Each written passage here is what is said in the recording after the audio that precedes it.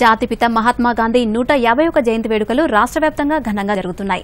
హైదరాబాద్ లంగర్ హౌస్లోని బాపుఘాట్లో governor Tamilisai CM కేసీఆర్తో పాటు ఇతర ప్రముఖులు నివాళులర్పించారు అనంతరం అక్కడే నిర్వహించిన సర్వమత ప్రార్థనల్లో పాల్గొన్నారు. శాసనసభ ఆవరణలోని గాంధీ విగ్రహం దగ్గర స్పీకర్ పోచారం శ్రీనివాసరెడ్డి శాసన మండలి చైర్మన్ గుత్తా సుఖేందర్ రెడ్డి నివాళులర్పించారు. ఈ కార్యక్రమంలో పలువురు శాసనసభ్యులతో పాటు ఎమ్మెల్సీలు పాల్గొన్నారు. రాష్ట్ర వ్యాప్తంగా జిల్లాలో జరుగుతున్న గాంధీ జయంతి వేడుకల్లో మంత్రులు ఇతర ప్రజాప్రతినిధులు పాల్గొన్నారు.